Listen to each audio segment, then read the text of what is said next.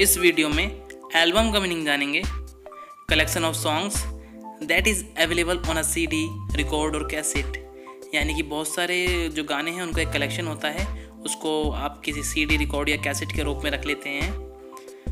उसके अलावा book with the collections of photographs और पिक्चर्स यानी कि एक किताब होती है, जिसमें कुछ आपके पुराने फ़ोटोग्राफ भी हो सकते हैं। उसके अलावा मैरिज एल्बम जो होती है, उसमें शादी के फ़ोटोग्राफ होते हैं, उनका एक कलेक्शन होता है।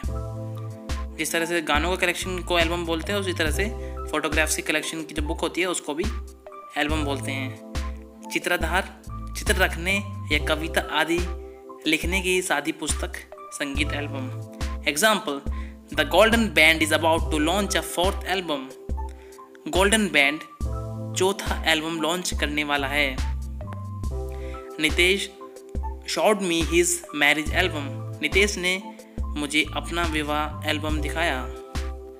Thank you please subscribe channel for